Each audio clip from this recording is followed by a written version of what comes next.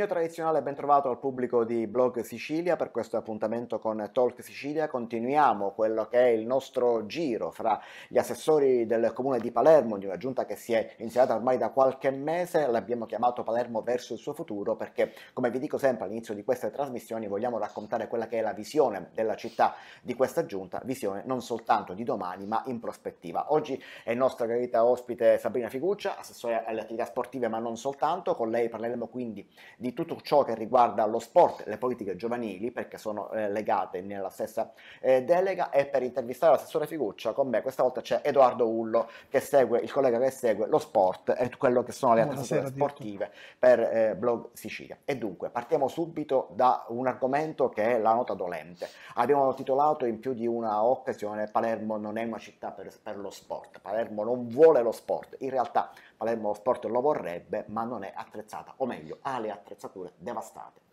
Buonasera a tutti, grazie per il vostro invito, mi fa davvero piacere. E anche se purtroppo mi invitate a partire da quella che è la nota dolente del, tra le Purtroppo Assessore, noi siamo chiamati a, a, sollecitarvi sulle cose che non vanno, perché quelle che vanno vanno accetto e accolgo, accolgo, assolutamente in maniera favorevole la vostra spinta eh, perché comprendo che si tratta proprio di questo, a parlare del tema più delicato tra quello che è afferenti appunto alle mie deleghe, ossia gli impianti sportivi. Eh, gli impianti sportivi della città di Palermo sono 16 complessivamente, purtroppo già aperti non sono tutti, ma ve ne sono soltanto 7. Eh, ovviamente abbiamo due palazzetti importanti, sono il Pala Auditore e il Pala Oreto, ehm, che eh, diciamo si occupano prevalentemente prevalentemente di basket e di pallavolo, eh, entrambi devo dire con grandi sacrifici e con grande fatica, ma oggi accolgono squadre importanti eh, anche in Serie B, eh, perché Palermo, eh, lo diceva poc'anzi proprio lei, ha davvero una grandissima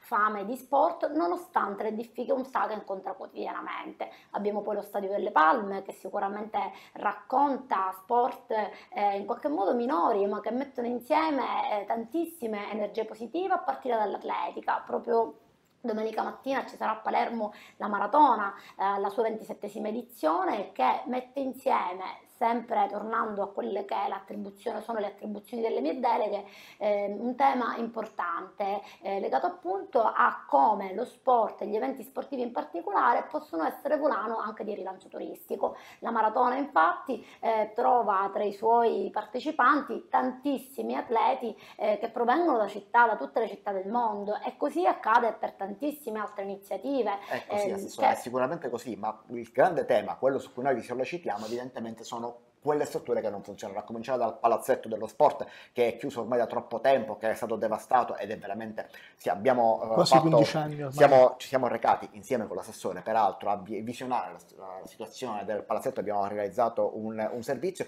ma non è soltanto il palazzetto dello sport, c'è il diamante, sono, c'è il velodromo, ci sono velodromo. tante strutture che potrebbero dare veramente respiro alla fame di sport di questa città. Raccolgo l'invito a parlare proprio delle criticità della città, appunto il palazzetto dello sport eh, che abbiamo potuto potuto vedere anche insieme, ero già stata presso la struttura e diciamo, ho fatto un'analisi, uno studio rispetto all'attuale situazione che vede un lavoro già effettuato per circa 3 milioni di euro ehm, a valere su fondi extracomunali naturalmente eh, per quanto riguarda il rifacimento del tetto dell'impianto che era stato oggetto di una chiamiamolo errore di progettazione e quindi di un gravissimo diciamo, incidente che aveva visto scoperchiare completamente il tetto e che oggi, superata questa prima fase di progettazione, vede una, una disponibilità economica, sempre a valere da fondi extracomunali, che verranno gestiti dal CONI di circa 8 milioni, eh, che oggi sono fermi a palo a causa di una serie di eh, questioni burocratiche che non sto qui ad analizzare,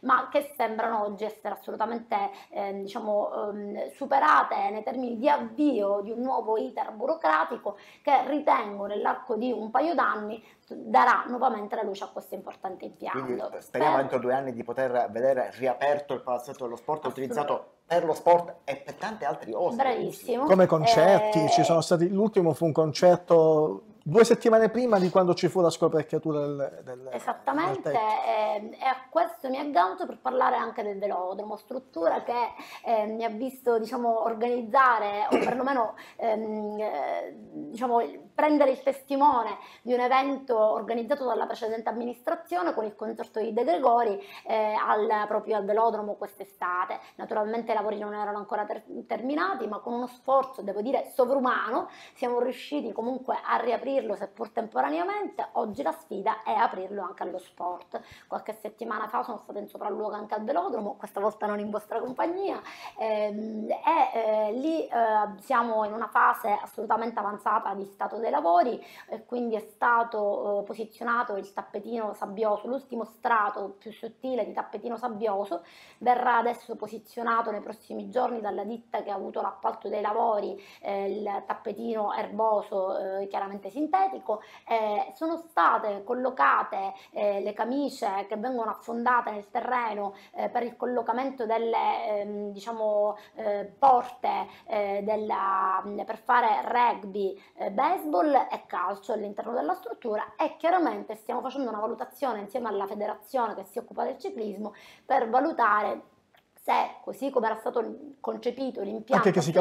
è ancora compatibile con eh, il ciclismo, del resto si tratta di un velodromo, ma parallelamente non dimentichiamo che impianti come il velodromo, come il palazzetto, come lo stadio, e ne è la prova il concerto di Vasco Rossi che si terrà a giugno, possono e devono essere utilizzati anche per iniziative di tipo culturale, sociale, eh, convegni, eh, eventi, più insomma un impianto sportivo è vissuto e meno sono le probabilità certo. che possa essere oggetto di Ma... atti vandalici o di eh, diciamo atti mh, di questo genere che certamente non qualificano l'impianto. A proposito di sport e grandi eventi, come ha giustamente anticipato lei, a giugno prossimo ci sarà il concerto di Vasco Rossi al Barbera che riapre i grandi concerti ne ospitati tanti storici, tra cui quello di Duran Duran anche, e, e, altri gruppi famosi. Ma eh, ecco, Palermo, eh, cioè l'Italia è stata è candidata ufficialmente per ospitare gli europei del 2032. Fra dieci anni,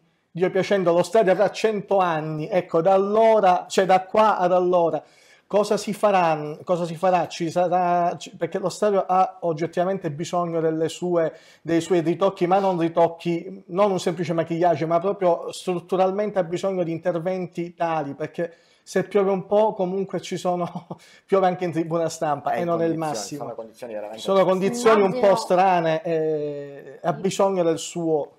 Immagino me ne siete accorti proprio perché la difficoltà di cui le parla sono proprio in tribuna stampa, quindi non a caso l'abbiamo fatta apposta per farlo succedere in tribuna No, ma, per, no, ma, no, ma la, la, cosa comica è che ad esempio in, in eh, partite dove non piove ma era piovuto prima, eh, fuori non piove ma dentro sì. Quindi è, dà l'assist per parlare di un tema importantissimo, la programmazione. Questa ecco. sconosciuta a me per l'amministrazione di Palermo ad oggi, non vuole dirlo, ma è un dato di fatto ehm, gli unici fondi che abbiamo trovato programmati dalla precedente amministrazione eh, sono stati quelli del PNR PNRR in relazione alla piscina comunale, sulla quale c'è un importantissimo investimento, sono 11 milioni suddivisi in due cluster, eh, rispettivamente di 5 e 6 milioni. Nulla abbiamo trovato per quanto riguarda lo stadio Renzo Barbera e quindi ci stiamo faticosamente affannando nella ricerca di risorse economiche che siano a valere del PNRR, del POMmetro,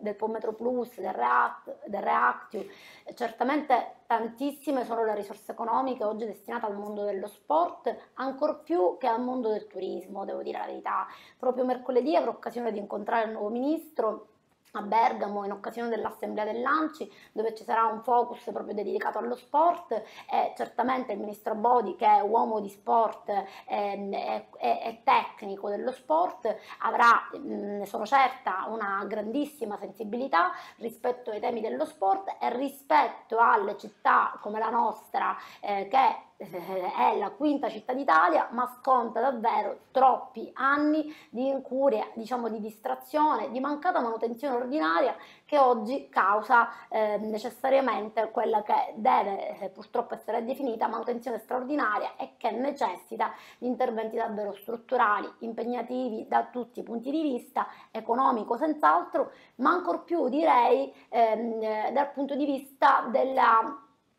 diciamo, del percorso burocratico che eh, la programmazione, la progettazione e poi l'esecuzione dei lavori vedono anche a causa di una carenza ormai organica eh, di ehm, personale eh, comunale che possa concretamente seguire i lavori. Per questo stiamo valutando con l'amministrazione, ne parlavamo proprio stamattina in giunta con il sindaco, la possibilità di stipulare convenzioni con tutti quegli istituti che a vario titolo hanno eh, all'interno del loro staff, del loro organico, figure professionali compatibili per esempio con il RUP, con i progettisti, che purtroppo, ahimè, a causa dei tantissimi pensionamenti che ci sono stati al Comune di Palermo, non abbiamo più all'interno della nostra macchina, se non in numero veramente ridottissimo. Ecco, lei ha accennato poc'anzi alla piscina comunale. La piscina comunale è un altro di quelli che potrebbe essere uno dei fiori all'occhiello della città di Palermo perché è, ha dimensioni olimpiche, eh, però manca di eh, tante cose, troppe cose. A cominciare dal pontone, che poi è quello che servirebbe per le gare, è una struttura che non tutti conosceranno, ma gli sportivi sicuramente sanno eh, di cosa stiamo parlando, è quello che in, di fatto divide in corsie in buona sostanza per poter fare, gareggiare, ma la piscina, la piscina comunale ha anche vissuto momenti problematici con aperture e chiusure, aperture e chiusure, infezioni dell'acqua e così via, che non si riuscivano a risolvere. Ahimè vive, devo, devo, purtroppo ammettere, a partire dal tema del pontone che certamente è più legato, è chiaramente un tecnicismo che per un addetti ai lavori sostanzialmente è una struttura che consentirebbe di dividere la piscina in due micro piscine da 25 metri e quindi fra le altre cose di svolgere delle attività diciamo eh, di tipo eh, delle gare insomma di tipo agonistico eh, proprio eh, sia nei periodi invernali che nei periodi estivi. Eh, questo naturalmente è un, un, importante progetto che deve essere portato a compimento accanto ad una seria ristrutturazione dell'impianto. Oggi lavoriamo assolutamente a singhiozzo, eh, ma ehm, certamente in maniera ehm, come dire step by step interverremo a brevissimo con uno stanziamento, un prelievo dal fondo di riserva di 150.000 euro con la quale faremo i piccoli lavori necessari per poter andare avanti, tamponando diciamo quella che oggi, mi spiace dirlo, ma è davvero un colabrodo, una struttura vecchia eh, dove eh, qualche settimana fa abbiamo avuto anche la presenza di legionelle, ahimè, ma che ogni giorno ci riserva sorprese eh, e che solo grazie ai fondi del PNRR di una ristrutturazione complessiva riusciremo a portare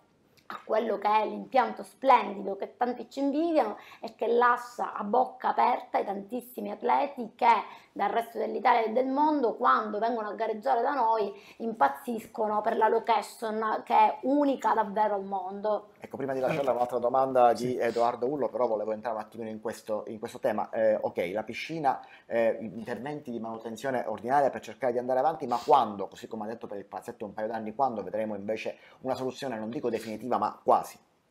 Beh, sicuramente per, per, avere una soluzione definitiva dovremo aspettare i lavori del PNRR eh, che dovrebbero cominciare a partire già dal prossimo anno, ma eh, diciamo avendo la fortuna di avere, fatemelo dire, due piscine in una, perché effettivamente noi che viviamo a Palermo, dove tutto sommato è possibile allenarsi anche nella piscina scoperta quasi, tut, scoperta quasi tutto l'anno, beneficeremo della possibilità di utilizzare separatamente i due cluster di cui parlavo poc'anzi, le due fasi di progetto, un, per un periodo per, il periodo inter- per la vasca interna e per un altro per la vasca esterna, in modo da avere comunque sempre a disposizione una delle due vasche e quindi da non privare completamente eh, sia gli, gli, atleti che eh, i normali utenti della piscina di una delle due vasche. Insomma. Eh, questi allora. interventi eh, immagino che interesseranno anche il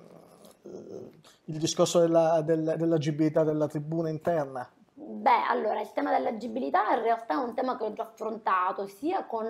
il presidente della commissione tecnica di valutazione per l'agibilità, che non è un'agibilità strutturale, ma è un'agibilità per il pubblico spettacolo. Sono due cose sostanzialmente diverse, quindi oggi l'impianto può funzionare regolarmente e agibile, salvo eh, avere la necessità di un'ulteriore agibilità eh, appunto definita per il pubblico spettacolo proprio per gli eventi maggiormente significativi che prevedono una presenza massiccia di pubblico. Oggi purtroppo la piscina pur avendo l'agibilità strutturale non ha quella per il pubblico spettacolo. È un peccato ma... perché ad esempio il mese scorso Palermo avrebbe potuto ospitare un evento internazionale importante come il, la seconda fase eh, della LNK che è un equivalente per chi non conoscesse la pallanuoto è l'equivalente l'equivalente della Euroleague nel calcio. Quindi immaginatevi voi se Palermo nel calcio non avesse ospitato adesso, partite della, dell'Europa League, cosa sarebbe successo. Quindi è un peccato, sono occasioni perse al momento. Assolutamente lo confermo, sono occasioni perse, proprio per questo, eh, proprio l'altro ieri ho incontrato il Presidente della Commissione insieme ai tecnici dell'ASP per immaginare una soluzione che consenta all'amministrazione pubblica di avere un'agibilità continuativa nel tempo, eh, salvo poi prevedere la presentazione di un piano sanitario adeguato da parte delle varie federazioni e delle associazioni che svolgono gli eventi all'interno della piscina da presentare direttamente e in autonomia. Rispetto a quello che invece sarebbe un'agibilità eh, diciamo per tutto un arco temporale più lungo, almeno annuale ma preferibilmente pluriennale, eh, in modo tale da risolvere definitivamente questa problematica che purtroppo eh, insiste da anni non soltanto sulla piscina comunale ma su tutti gli altri impianti. Per la verità siamo andati a rinnovo eh, sia per il Palamangano che per il Palaureto che per lo Stadio delle Palme e quindi lì abbiamo avuto un parere positivo su tutto, mentre invece purtroppo sulla piscina abbiamo una piccola problematica relativamente ad ASP eh, che stiamo comunque eh, lavorando per risolvere, su cui stiamo lavorando per risolverla. Per quanto riguarda invece l'annoso problema sempre delle, piscine, no, de, de, delle palestre, degli impianti, eh, c'è una convenzione con le palestre delle scuole, ad esempio, si possono utilizzare le, le società anche dilettantistiche possono utilizzarle? Mi sollecita davvero su un tema che ho affrontato proprio dal primo giorno del mio insediamento, perché eh, brevemente eh, spiego come funzionava il meccanismo quando sono arrivata. Ehm, e eh, sostanzialmente l'amministrazione comunale faceva un avviso rivolto a tutte le istituzioni scolastiche dotate di palestre ehm, che purtroppo rimaneva quasi inevaso a giudicare dai risultati perché lo scorso anno su 72 palestre, su 72 scuole dotate di palestre solo 5 avevano aderito per problematiche di varia natura. Quest'anno, eh, diciamo, tra i miei primi passaggi istituzionali abbiamo deciso di convocare anche insieme al, insieme al sindaco eh, il presidente eh, dell'ufficio scolastico regionale per aprire un'interlocuzione sana eh, con una dialettica costruttiva eh, per fare in modo che quelle che sono le problematiche rinvenute dai dirigenti scolastici possano essere risolte concretamente, dando poi la possibilità loro di utilizzare questi impianti per tutta una serie di attività sportive passando per il tramite dell'amministrazione comunale. Quest'anno la disponibilità dei docenti, dei dirigenti scolastici è stata di 30 palestre su 72, quindi un piccolo passo avanti è stato certamente fatto, non è ancora, ehm, siamo ancora lontani dall'obiettivo finale, ma stiamo lavorando, eh, costruendo un dialogo serio, costruttivo con i dirigenti scolastici che certamente avevano le loro ragioni per non concedere gli impianti, perché L'anomalia sta tutta nel fatto che l'impianto che da una parte viene gestito dai dirigenti scolastici, che ormai diciamolo pure sono giustamente dei piccoli imprenditori, dall'altra parte è però del comune di Palermo, quindi se la gestione è della scuola, la manutenzione ricade sull'amministrazione comunale. Questa diciamo, dicotomia ha certamente creato nel tempo varie fratture che è nostro compito come amministrazione comunale cercare di risolvere concretamente attraverso un dialogo dialogo e attraverso l'individuazione di strumenti operativi concreti che passino attraverso risorse economiche, se il caso anche stracomunali. Ecco, una, un altro tema. Beh, tra le sue deleghe, l'abbiamo detto all'inizio, ci sono le politiche giovanili. Questo anche perché eh, c'è un incrocio, è inutile negarlo, fra sport e politiche giovanili, perché lo sport non è soltanto quello a livello agonistico, quello comunque importante di cui abbiamo parlato, che è rilevante, è importante, certo. ma c'è anche quello, diciamo così, nei quartieri, quello del piccolo campetto, quello della piccola palestra. Da La questo punto di vista le strutture sono poche quelle che ci sono spesso sono vandalizzate, insufficienti, inadeguate, chiuse. E da questo punto di vista cosa state facendo, cosa pensate di fare? C'è tanto da fare, devo sicuramente ringraziare il sindaco per la lungimiranza con cui ha scelto le deleghe da attribuirmi, perché eh, davvero sono tutte in sinergia l'una con l'altra. Se è vero infatti che lo sport attraverso i suoi tantissimi eventi diventa volano di rilancio del turismo e che dall'altra parte è anche strumento di inclusione sociale, di recupero della marginalità, certamente questo si aggancia con il tema delle politiche giovanili come lei ricordava. Eh, questo paio con il recupero recupero di una serie di impianti eh, situati in aree cosiddette periferiche, è un termine che non amo molto, ma sono costretta a utilizzarlo perché oggi eh, i quartieri più lontani dal centro abitato della città vengono purtroppo considerati periferici ed effettivamente lo sono. In particolare una piccola perla che a breve riapriremo è certamente la palestra di atletica pesante di Borgo Nuovo, eh, ma non è tutto perché a partire dagli eh, eventi che anche le importanti federazioni via via organizzano ehm, c'è come dire un input in termini di sensibilizzazione per fare in modo che questi non vengano organizzati soltanto nei centri abitati più importanti e classici, i classici eventi appolitiamo al massimo, ma si spostino proprio nelle cosiddette periferie. Proprio sabato scorso abbiamo organizzato uno dei primi eventi, la prima tappa di 12 ore di basket, l'abbiamo chiamato anche se in realtà poi abbiamo montato un vero e proprio campo polivalente in cui i ragazzi hanno potuto praticare basket, pallavolo e arti marziali proprio a Piazza San Paolo, nel cuore nevralgico del quartiere di Borgonovo e così pian piano piano faremo in tutte le altre cosiddette periferie. Nei progetti, per esempio, del, relegati agli eventi natalizi, proprio stamattina in giunta il sindaco sensibilizzava tutti noi a prevedere un'organizzazione di eventi che non passi soltanto dal centro ma che arrivi soprattutto nei quartieri più periferici dove eh, i più giovani hanno davvero tanto bisogno di essere coinvolti e di trovare spazi per le loro necessità che non siano soltanto eh, quelli a che oggi sono disponibili in strada, ma che invece devono sempre di più essere riqualificati e offrire opportunità concrete. Ecco, il tempo, è... Il tempo, il tempo, è quasi finito. Edoardo, una domanda secca e una risposta secca perché abbiamo un minuto. Velocissima, allora, per quanto riguarda lo sport e inclusività, per quanto riguarda eh, i diversamente abili, cosa si sta pensando? Tante politiche per i diversamente abili, in particolare una fortissima collaborazione col CIP che a breve vedrà anche una bellissima sorpresa all'interno del Palamangano, uno dei nostri impianti in cui vedremo l'opportunità di consegnare una nuova sede proprio al CIP, ehm, che è l'organismo per eccellenza che si occupa dei disabili attraverso il mondo dello sport. Giorno 3 dicembre